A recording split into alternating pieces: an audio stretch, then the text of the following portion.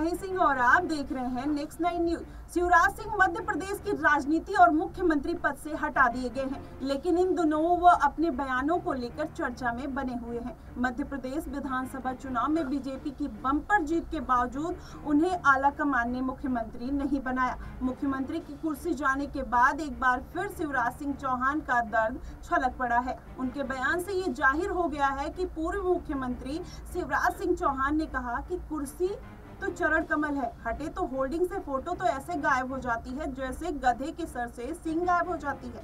पूर्व मुख्यमंत्री शिवराज सिंह चौहान राजधानी भोपाल स्थित ब्रह्म कुमारी में सुख शांति भवन में कार्यक्रम में शामिल होने पहुँचे और उन्होंने ये बयान वहाँ पे दिया।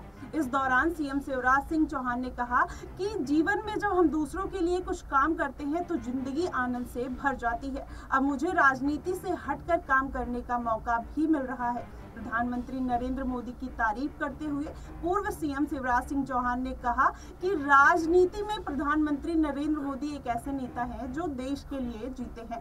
लेकिन समझने वाली बात यह है कि कुर्सी जाने का दर्द है या पार्टी में उनकी कोई सुनवाई नहीं हो रही वो इसलिए वो लगातार ऐसे बयानबाजी करते नज़र आ रहे हैं। और शिवराज सिंह चौहान कहीं ना कहीं इस बात को लेकर काफ़ी दुखी हैं और वो बार बार अपने बयानों में ऐसी ऐसी चीज़ें बोलते नज़र आ रहे हैं जिससे ये आ, उन्होंने ये भी बयान दिया। उन्होंने कहा कि जब गधे के सिर से सींग गायब हो जाती है ऐसे में शिवराज सिंह चौहान का ये बयान वायरल हो रहा है। इस बयान शिवराज सिंह ने कहा कि ढोल तासे के साथ आश्वासन देते हुए नज़र आ रहे हैं, जहाँ उन्होंने ये भी कहा कि बाजाओं को कोई रोकेगा नहीं। मैं देख लूँगा।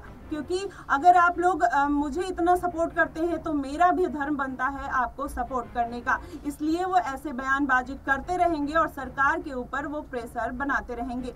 दरअसल, पूर्व सीएम शिवराज सिंह चौहान बुधनी विधानसभा के दौरे पर थे। इस दौरान बैंड ढोल तासे वालों ने पूर्व सीएम सिंह चौहान का ज्ञापन सौंप गुहार लगाई थी, जिस पर शिवराज सिंह चौहान ने कहा था कि आप ढोल बजाएँ तासे बजाएँ, कोई रोकेगा नहीं। अगर कोई रोकता है तो मैं देख लूँगा। देश और दुनिया की तमाम खबरों के लिए हमारे साथ बने रहिए नेक्स्ट नाइन न्यूज़ पर।